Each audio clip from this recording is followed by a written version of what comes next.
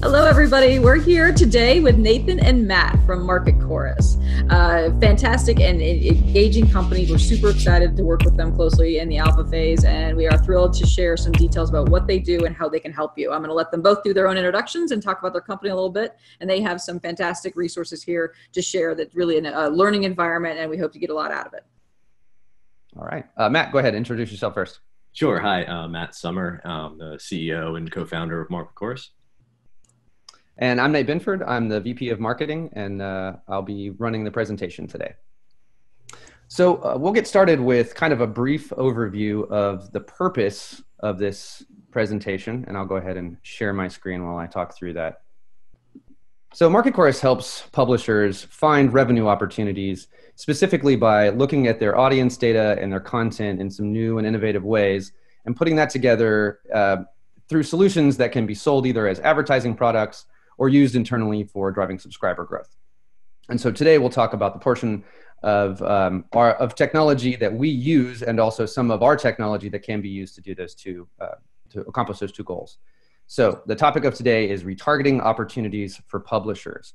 Uh, so I'll start with kind of a, an overview of what even is retargeting. Um, retargeting is a type of digital advertisement that is delivered to people who have visited your website in the recent past.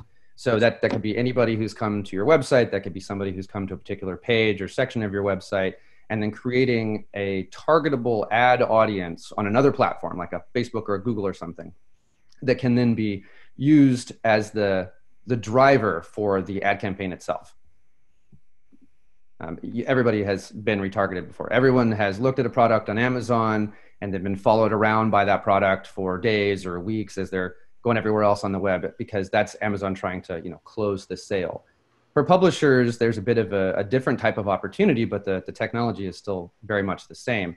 The idea is if people have been to your website before, they're your readers, and if they've been many times, then they're your loyal readers. And those readers are really the uh, the asset that you have that you sell to advertisers and that you leverage for your own growth. And being able to know something about those people and what they're reading on your website gives you some very compelling opportunities to deliver them personalized advertising messages or promotional messages for your own brand. So, where do retargeting campaigns even run, right? Um, it's not on your website. It is on the other websites that people visit after they've been to your website. So that would be ad networks like the Google Display Network or the Facebook slash Instagram Audience Network, um, as well as many others. LinkedIn allows retargeting, so does Twitter, but Google and Facebook slash Instagram represent something we call the duopoly. Those are the, the two largest advertising networks in the world. That's about 60% of the total advertising impressions that exist in the digital space are sold through those two different networks. So, in very simple terms, you have a tight, loyal audience, but a limited number of impressions, and you can target those people on platforms where you have a theoretically limitless number of impressions, a much larger reach. So let's talk about one of those uh, examples of the networks. Um, Facebook's audience network, for example, is far greater than the uh, Facebook timeline that you would typically associate with like seeing a Facebook ad. And that's definitely part of it.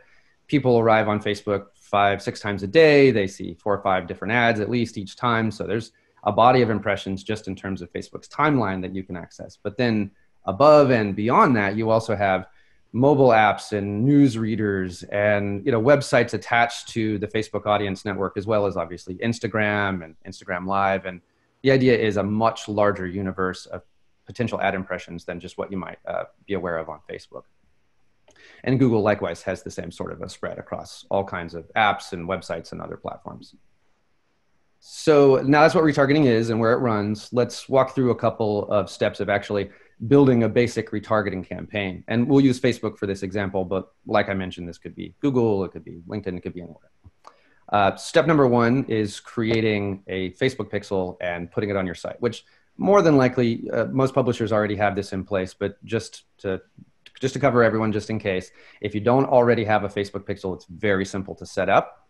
Uh, Facebook's business manager is what you'll need access to, and and it's important, I think, to distinguish the difference between getting access as uh, someone who's doing something in the advertising world on Facebook versus somebody who's running the Facebook page. So it's a completely different set of uh, permissions that you would have. And, and I know in most publishers, it's the, it's the editorial department or, or somebody who's managing social media. uh, who's actually running the Facebook page, and that control is usually pretty limited. So that's fine. Nobody has to touch the Facebook page. Nobody has to have any editorial access. In order to create advertising audiences and pixels, you just need to be given access as an advertiser, which doesn't give you access into any sensitive parts. So, like if you were to work with Market Chorus, you would give us advertiser access and we would have no ability to see anything else that was going on in your system. And likewise, if you were to do that internally, you could have somebody in the ad team over here and somebody in the editorial team over there, and they don't need to share access. So I think that's important to point out. But setting one up is very simple. In your business manager, uh, on the top left-hand corner, there's a little drop-down menu that shows all the menu options for business manager. On that is events manager. And when you click into that, you'll be given an option to create a new data source. And then once you do that, there's create a Facebook pixel, which pops up this screen that you see here on the bottom right, uh, which really all you have to do is just name it. Facebook will then generate a little piece of code that your operations or your IT team will need to put into the header of your website. Or if you're using a tag manager like Google Tag Manager, you would put the code in there and save it. And then you're done. And that's step one. So you have a Facebook pixel and it's on your website. Moving on to step two, it's time to build the actual retargeting audience. So, like I mentioned previously, you can retarget anybody who's been to your website. You could, or websites if you have multiple of them. If you have the Facebook pixel across multiple websites, you can do that. Um, you could target people who'd been to a particular page or a particular section. Potentially, even if there was a, a piece of sponsored content and you wanted to target all of the people who read that one piece of sponsored content, that would be something that you could do. Uh, in this example, we're just setting up kind of a site-wide retargeting audience for um, our example will be dallasnews.com. That's one of our partners. So we have uh, gotten to this screen. We're including everybody who matches the following criteria. So that's the default setting. You'll always want to have that. You would then select your pixel. So in this case, it's the DMN website pixel. And then because we're trying to target everybody who's been to the website in general, we'll have all website visitors. There's a few other options. You can target people who've been to a particular URL and so on. Um, and the final option here is the number of days that you want to track this audience for. So in the box there by default, it says 30.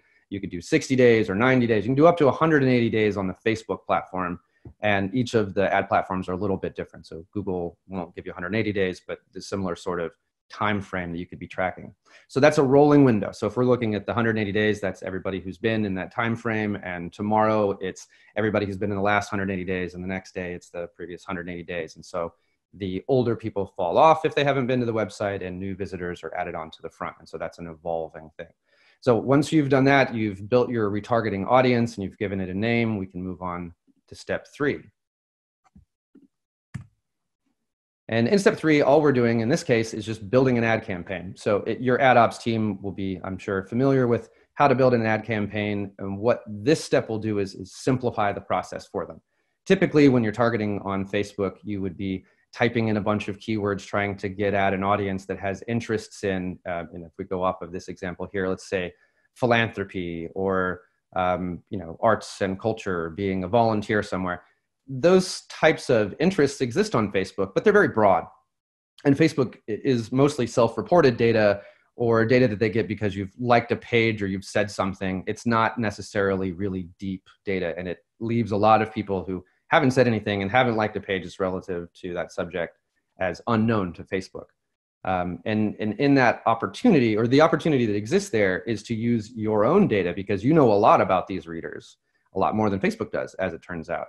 And rather than having to guess at a bunch of Facebook interests while you're building your campaign, it just simply becomes picking it off of a list. So in the prior step, you built an audience. And in this step, you're building a campaign. And all you have to do is go to where it says use save audience and then pick that name off of the list. And then you're done with all of your advertising targeting. So that's it. First, create a pixel and put it on your website. Second, build the retargeting audience based on your domain or your URL or whatever it is you want to track. And then third, your ad ops teams will go about creating the campaigns and pull that audience off of a list when they're building it. You guys have any advice on just building audiences and, and what you would recommend? I, I know that a lot of folks may be, be thinking like, I'm not even sure where to start if I was going to go build an audience. Yeah, so I mean, a site-wide retargeting audience is great, especially for internal purposes. So if you're trying to get people who are readers of your website to become subscribers of your website, one of the best ways to do that is to get them back reading more content. And so anybody who's previously been to your website is more likely than some random person on the internet to come back and read more articles. So just simply creating a site-wide retargeting audience and driving everyone back more often is going to have um, an effect on your subscriber growth goals in terms of the types of audiences that you might want to sell. Um, obviously, all of your readers are, are valid to your advertisers, but usually you want to segment that a little bit. So maybe it's your sports readers or maybe it's uh, you know a particular thing that's happening in the news right now. And, and we'll get into how you can do some of those more advanced types of targeting here in a couple of slides. So there's there's what you can do manually. And so that's copying a url and putting it in one at a time and building a retargeting audience based on that. And then there's what you can do with the addition of like say market chorus based software that we'll get to in a couple of slides and, and julia i'd add in also um, one of the abilities of these platforms is also to do exclusions. So if publishers have hopefully long lists of subscribers already you can add those via email or other identifiers and use that to exclude from your audience so you're not duplicating efforts and running subscription campaigns to people that are already subscribers. So there's lots of fine grained controls. It's just you know how much work do you want to put into it essentially. That's awesome. Thanks. Yeah that's a really good one matt um, and likewise um, the audience data that you're getting from your website is not necessarily geo targeted and it doesn't necessarily have like age information with it so there are some of those Facebook level targeting criteria that can be useful to filter that audience down if you have the need to. So if you're you know running ads to people that are over 21 only, you would do that inside the Facebook platform, for example.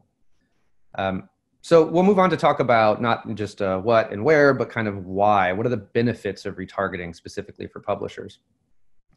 So typically in a normal Facebook campaign, you're going to pay between 10 and $15 CPM or, or cost per thousand views to buy and deliver the ad. So if you were going to sell Facebook ads to someone, you didn't have to like add a 30 or 50% margin on top of that so that you guys had a margin to operate within. But when you're using your own data, you take all of the targeting fees that are associated with that Facebook campaign completely out and you replace them with your own data. And that's usually about 50%, roughly. It depends a little bit on the audience and who's bidding on what. But let's say, generally speaking, you're talking about a, about a 50% savings on the cost per impressions. So that's beneficial to you in two ways. If you're running your own ads driving potential subscriber acquisition, then it's half cost. Great. And you also know more about them and you know that they're engaged readers, so it's more likely to be a reactive audience. Um, but as from ad sales standpoint, you are also able to buy them at half price and sell them, you know, for the same price that anybody else can even buy Facebook ads and, and keep about 100% margin on it for yourself. So that's pretty powerful. And the second benefit would be that you can use this technology to reinforce your marketing messages and often sort of personalize them um, based on what people are reading to engage them more frequently, increase return visits and reader loyalty, which obviously adds up to a higher subscriber acquisition count.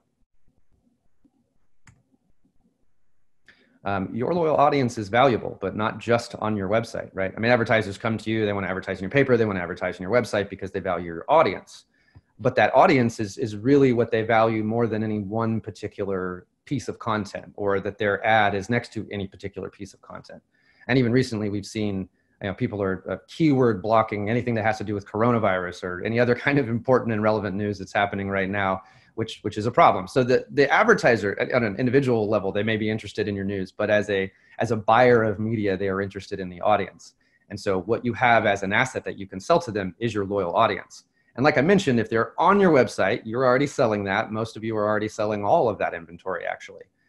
But you can now reach a theoretically unlimited number of impressions on that same audience based on reaching them everywhere else they go online. And that's what retargeting is all about. So your engaged readers also are more likely to become subscribers, which means that when they're on your website, that's great. They're likely to potentially click on a CTA about becoming a subscriber. But what about when they're not on your website? What about when they're reading all the fake news on Facebook or they're, they're getting, you know, messages from somewhere else? If you can be reinforcing your valuable, credible message at that point, then you're going to be able to drive them back to your website and increase your subscribers.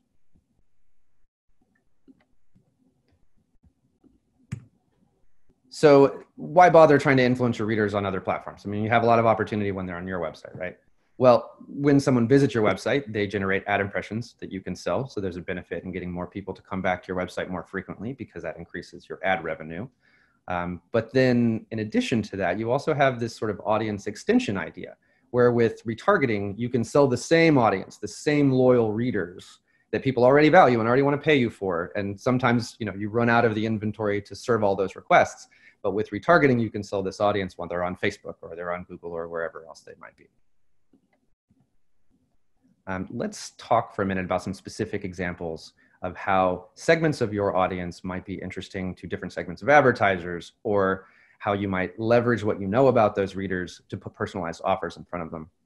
So, for example, and, and these are kind of one to one examples, and then I'll, I'll kick it to Matt for some more complex ones here in a second.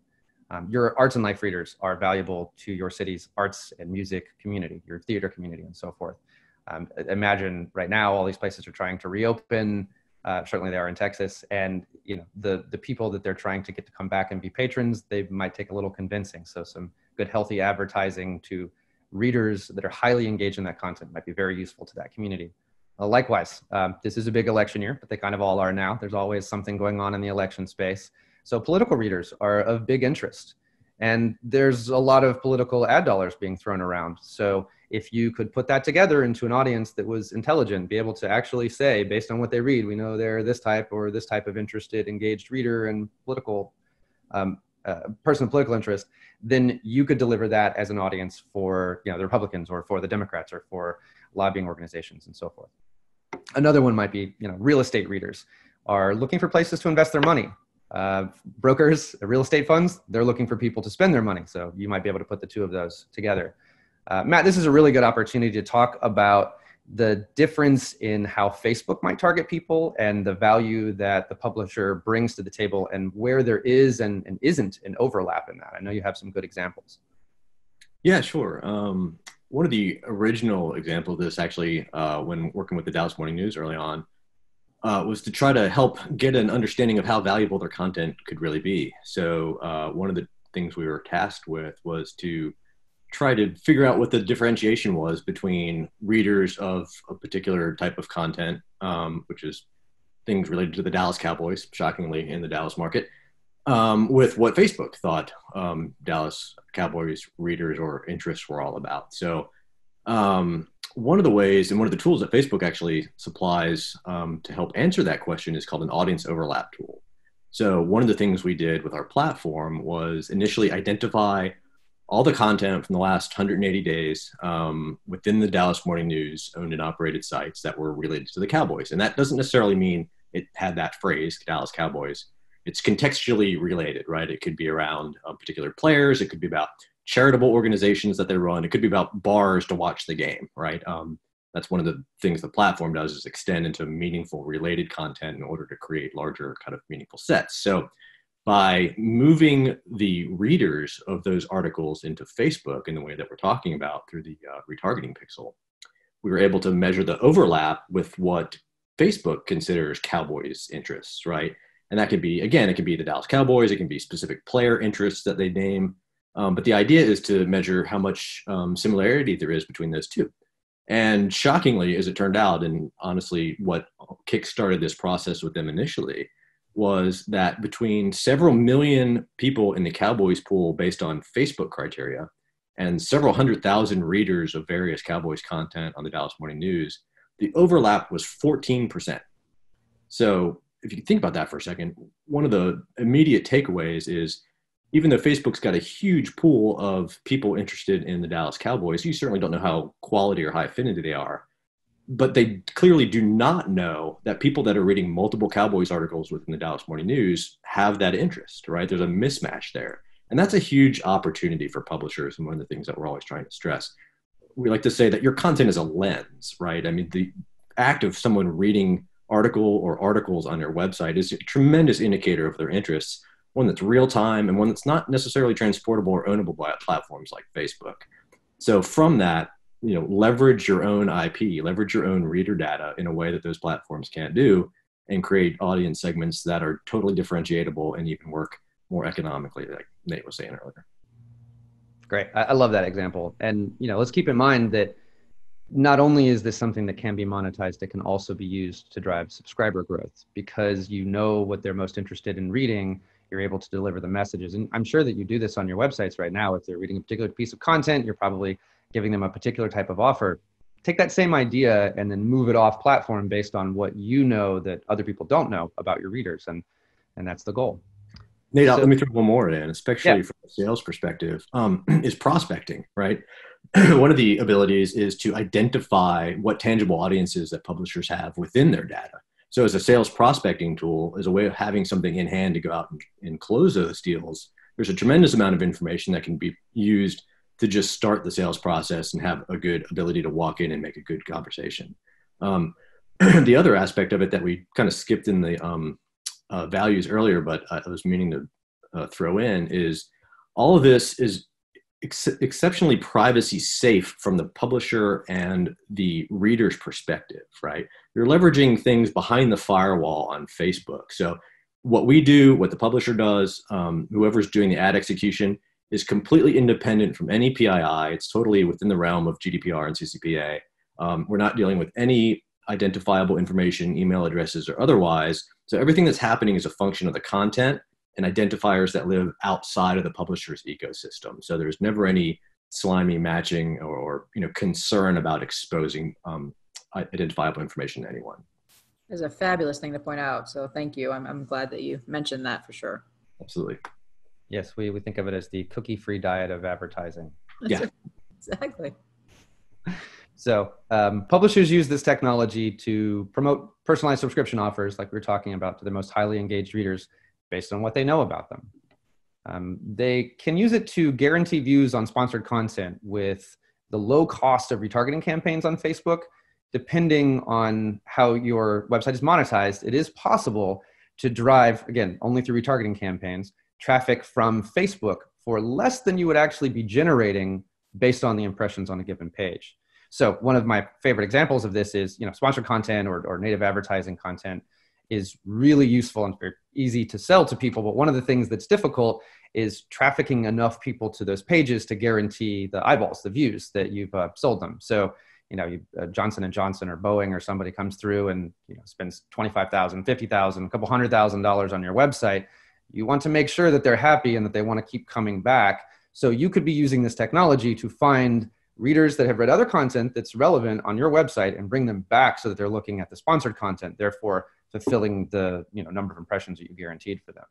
And likewise, and this is a little bit of a reversal, you could be tracking that sponsored content and then delivering Boeing or Johnson Johnson, whoever's spending the uh, sponsorship dollars with you, that same audience off the platform. So would you like to not only reach the people who read your content on our website, but reach them for weeks and months afterwards so that you can you know move them further down the funnel and that's just additional advertising impressions that you didn't have. So those are incremental ad dollars that you can go after.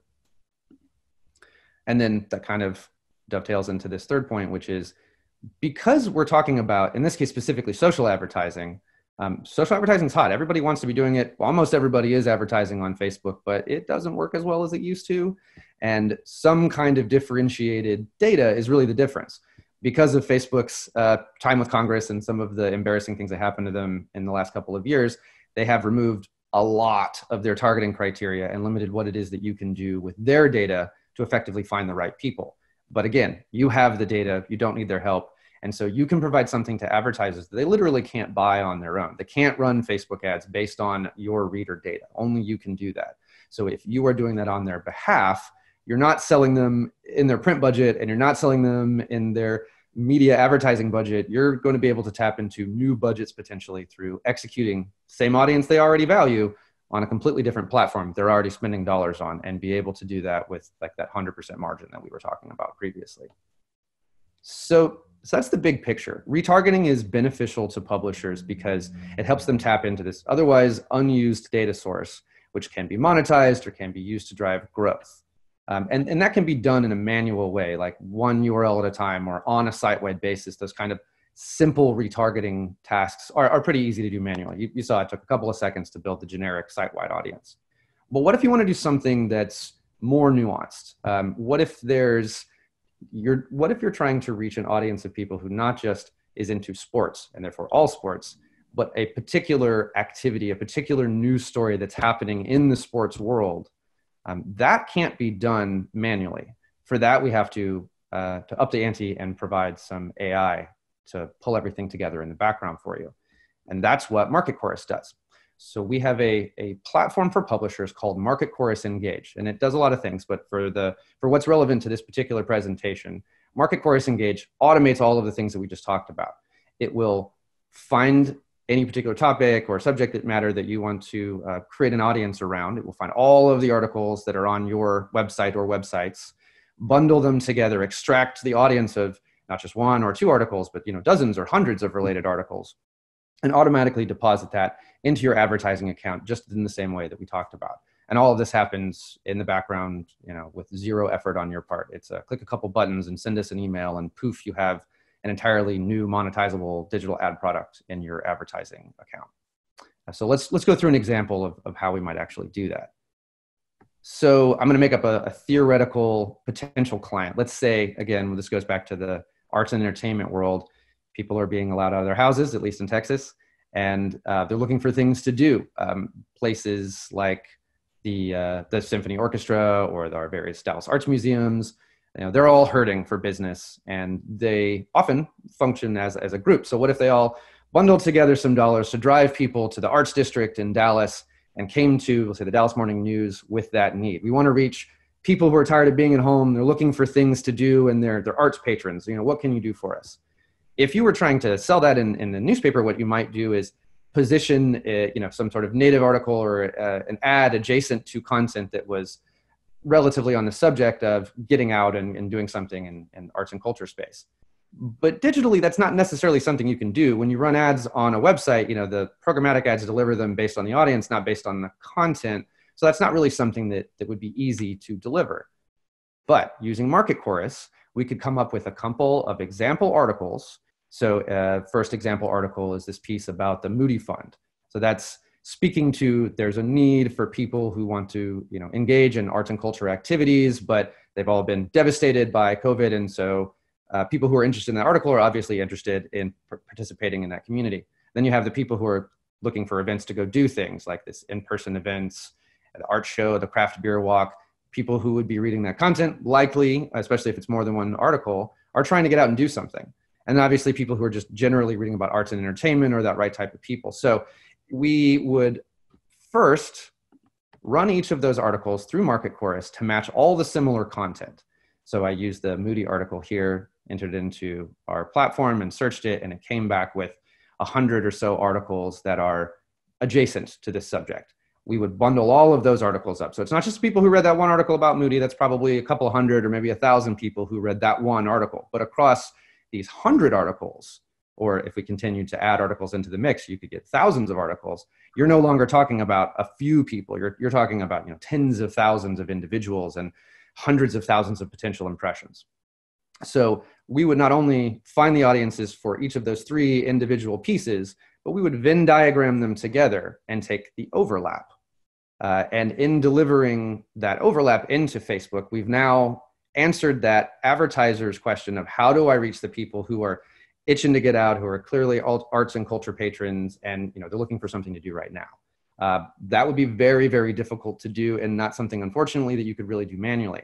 But fortunately with the market chorus platform our ai our machine learning algorithms are reading all of the content on your website and they're watching each person who's trafficking across that pixel and putting it all together for you and it just takes a couple of seconds to render that.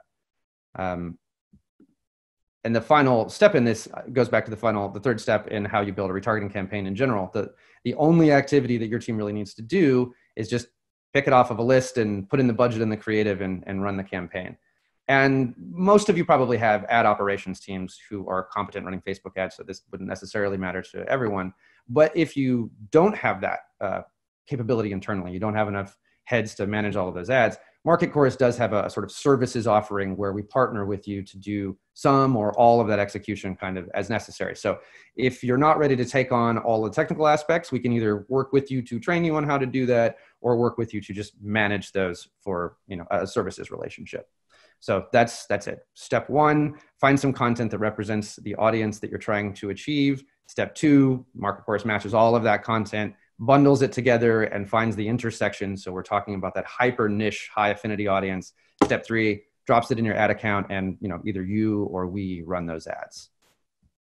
And so that's how you might you know sell an ad campaign. But how do you use the ad campaign for your own subscriber growth purposes? Well, that one just simply comes down to using that same data and the same audiences, but targeting your most loyal readers with special subscription offers that are personalized based on their reading habits and, and even potentially current news. So there's lots of current news to work with right now. Anybody who's really interested in keeping up with COVID or is really interested in, in keeping up with what's going on with China or is interested in you know borders reopening or anything like that. You know, if you're a, a travel agent or a you know your tourism department, you might be interested in the people who are reading articles about when things are opening up. You might be uh, interested as a reader in reading more travel content, and so you can work that in both ways. You can sell the audience and you can leverage the audience internally and you know you're you're using the same technology and the same data that you own and nobody else has to do that. So final thoughts you know it's it's simple to create a site-wide retargeting audience. You, you watch this do it a couple seconds.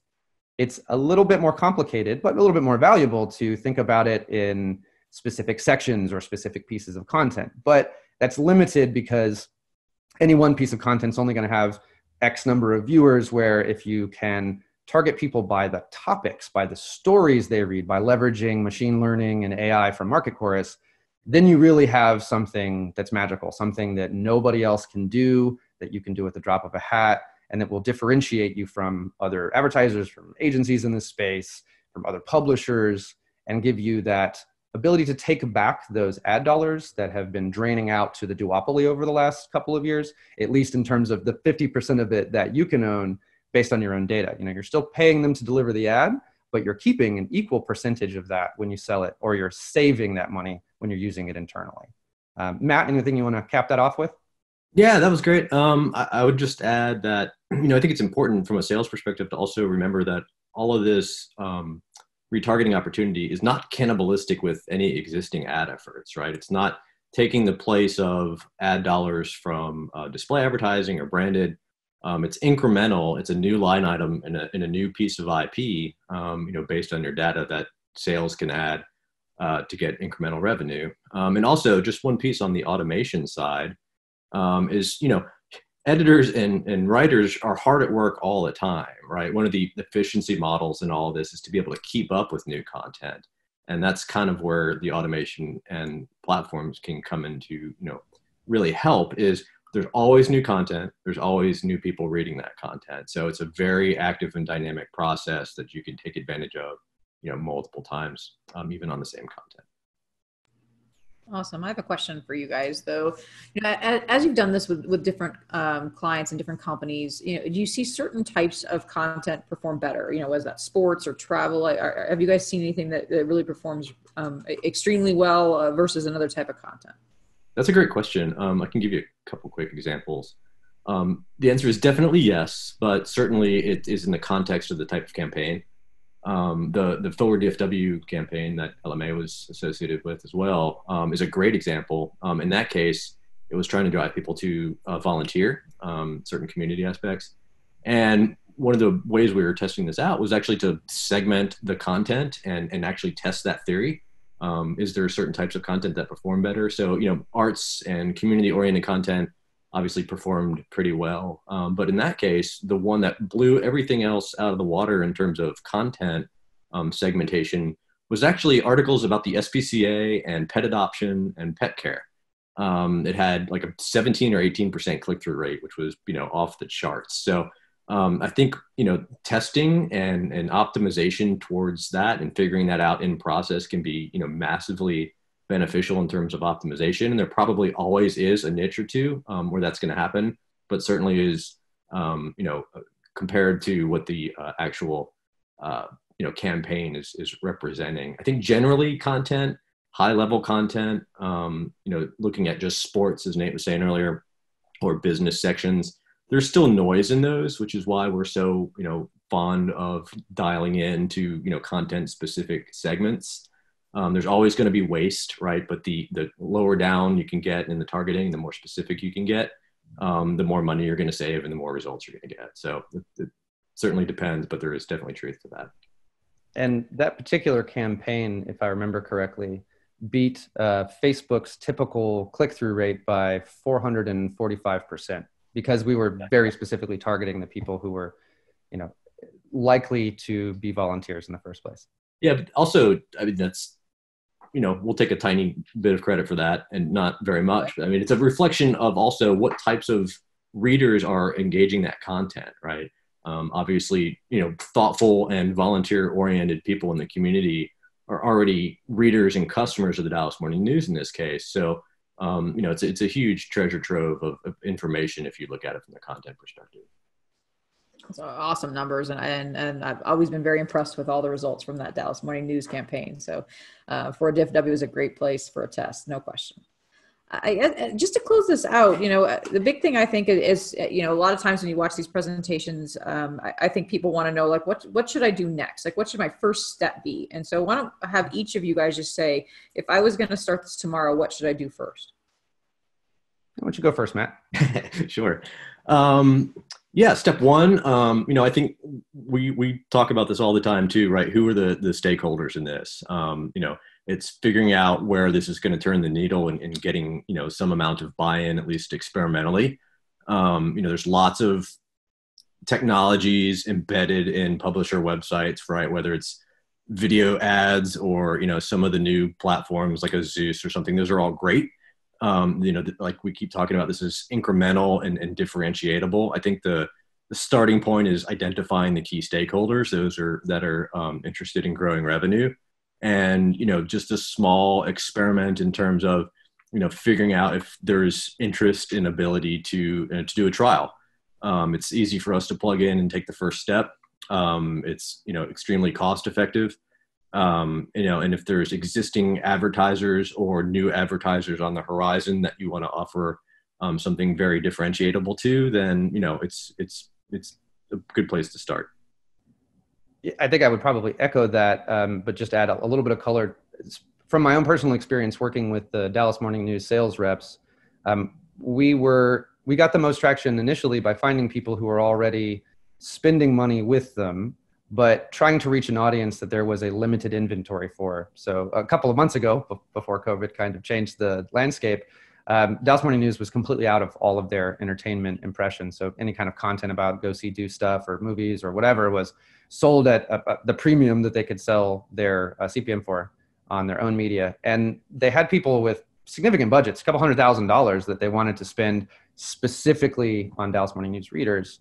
They, they weren't able to, to service that. So in terms of directing that spend off platform, it opened up, you know, pretty significant new budgets to them. So that's one thing is look at the advertisers who you, you can't service and try to give them something more, or the advertisers that maybe had a bad experience or that you know would trust you with anything just find some people who need solutions and are already trying to spend and look at this as a way to take the same core value proposition that you have selling your readers that are already engaged and doing that you know anywhere get them the rest of the time um, and then from the subscriber acquisition standpoint definitely it, it, probably the the marketing team is not as equipped in terms of ad ops execution chops as the ad ops team is. And so marrying those two teams together and trying to figure out, you know, what are the budgets that they currently have? How are they spending them? And where does this fit to make that more efficient? Because if they're already advertising on Facebook, but they're not using your own data and saving 50%, that's a that's a huge opportunity. Just double the number of ad impressions that you can get in that platform. So getting everybody in the same room to kind of talk about it, um, and, and, we've got lots of content up on our website. We're, we're always available to answer any questions, et cetera. Matt and I both answer info at marketchorus.com. So if anybody has any like follow-ups or any specific help us figure out how to do this, we're absolutely happy to help. That was awesome information, uh, awesome advice, and we just appreciate both of you guys just sharing your knowledge and and honestly just what works and what doesn't is is so beneficial to folks right now. So we appreciate the time and and please contact these folks if you guys do have additional questions. We'll make sure that we make them accessible to you. Um, thank you both. Appreciate the time today. Our pleasure. It's our pleasure.